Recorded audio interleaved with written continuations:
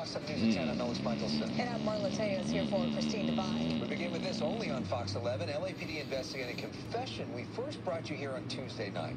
Actor Ed Gale admitting he tried to lure underage teens for sex. Tonight we hear from a fan of the Chucky actor who says Gale also pressured him to meet for sex. Fox 11 Gina Silva is live with why Gale still has not been arrested. Gina.